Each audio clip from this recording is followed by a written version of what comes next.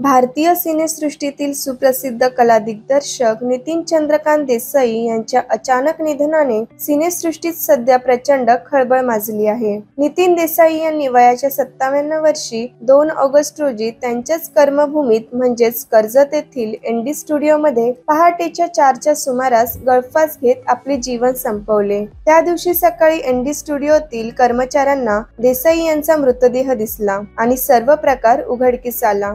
त्यानंतर नितीन देसाई यांच्यावर तब्बल दोनशे एकोणपन्नास कोटींचे कर्ज असल्याची बाब समोर आली. त्यांच्या डोक्यावर कर्जाचा न पेलणारा डोंगर उभा राहिला होता. त्यामुळेच त्यांनी आत्महत्या केल्याचे कारण समोर येत आहे. दापोलीमध्ये जन्मलेले नितीन देसाई यांनी एकोणीसशे सत्याऐंशी पासून अनेक मराठी व हिंदी सिनेमांचे प्रोडक्शन दिग्दर्शन आणि कला दिग्दर्शन केले. प्रेमरतन धनपायो लगान देवदास जोधा अकबर हरिश्चंद्रची फॅक्टरी राजाशिव छत्रपती तसेच मराठी पाऊल पडते पुढे यांसारख्या अनेक सिनेमांचे व नाटकांचे सेट त्यांनी स्वतः तयार केले होते. चार राष्ट्रीय पुरस्कार आणि तीन फिल्मफेअर पुरस्कारांनी गौरविलेले नितीन देसाई यांनी आपल्या उत्कृष्ट कलाकृतीने उभारलेल्या सेटवरून आता एक्झिट घेतली आहे.